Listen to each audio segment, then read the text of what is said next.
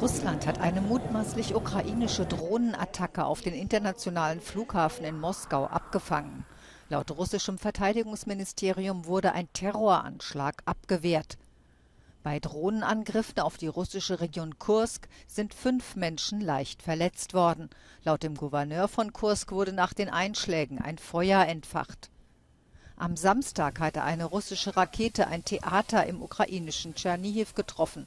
Dort soll eine Ausstellung von Drohnen organisiert worden sein. Volodymyr Zelensky, der nach seinem Besuch in Schweden die Niederlande bereist, erklärte, die Soldaten der Ukraine würden die Terrorattacke Russlands sehr bald beantworten. Zelensky traf den niederländischen Regierungschef Mark Rutte, der der Ukraine F-16-Kampfjets zugesagt hat.